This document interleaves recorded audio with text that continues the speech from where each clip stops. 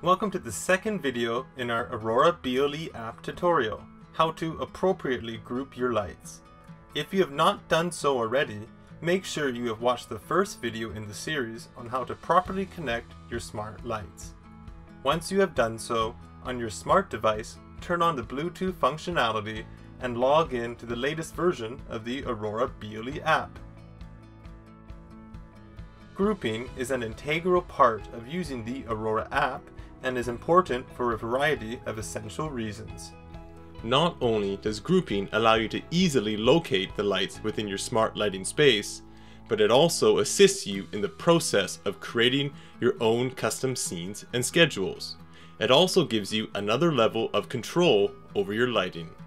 Instead of turning on and off all of the lights individually within a room, you can now selectively choose which lights will be turned on allowing you to create different rooms or areas within your smart lighting space. Adding a new grouping is extremely easy. On the Lights page, press the plus icon on the top right hand corner of the screen. In the drop down menu, press Add Area. From here, you will be brought into the Add Area page. This is where you will select the lights you want to be in the desired area, and you can give the area a name such as bedroom, living room, etc. Press the plus symbol to open the Add Lights drop-down menu.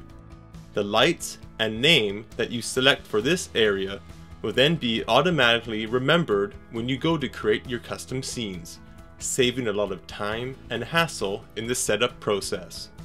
After you have named your room and selected your lights, press Save. In this example, we have created an area called Bedroom. Once back at the lights page, you will now see the new area called bedroom at the top. Tap the pencil icon to edit the area's details and light selection. Below, you can see a new section called unassigned lights. These lights are simply all of the other lights in your smart lighting system that have not yet been assigned to a specific area. At the top, you will also see a three-way toggle button showing light, area, and all. With light selected, it allows you to turn on and off each individual light. With area selected, if you press anywhere in a specific area zone, for example, anywhere in the bedroom zone, all of the lights in the bedroom will turn on or off.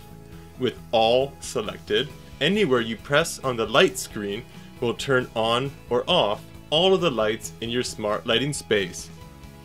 And there you have it. Repeat the process until all of your rooms are created. It really is that easy.